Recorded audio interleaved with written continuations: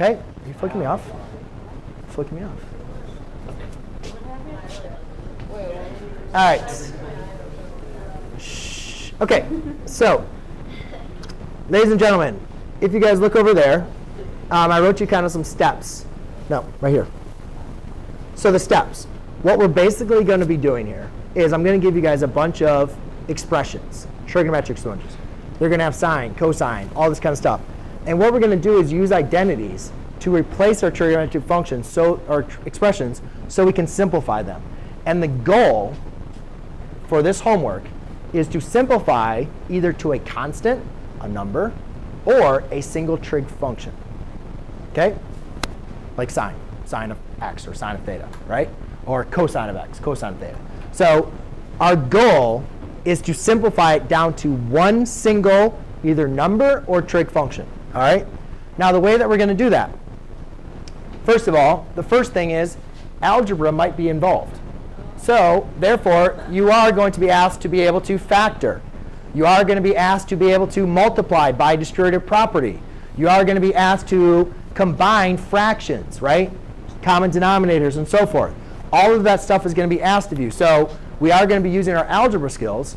And once we simplify it by applying operation, then we're going to use the identities. And as I mentioned, you will have these identities. It will make a little bit more sense once we have the identities. But basically what we're going to do is use our identities to help us simplify um, the example. So in the first example here, when looking at this problem, a couple things I notice. I notice that I have an expression where I have two of my terms share the same quantity, right? And that same quantity is the sine function, correct? And whenever you guys are having trouble with this, whenever you're having trouble, I always like to think of it as forget about sine and cosine. Replace everything with x and y's, right? x, y's, and z's, whatever. Think about it that way. Guys, if I was giving you this, is there something we could simplify? We could factor out an x, right? Does that make sense? Does that make sense?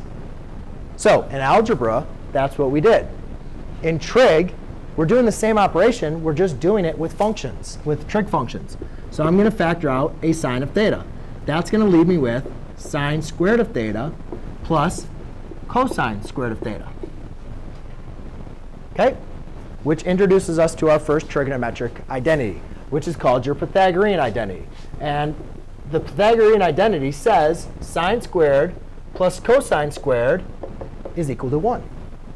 So again, you'll have this provided to you. I'm just writing it up there because I know you guys don't have it. So ladies and gentlemen, do you guys see inside this spreadsheet is sine squared plus cosine squared? So guess what?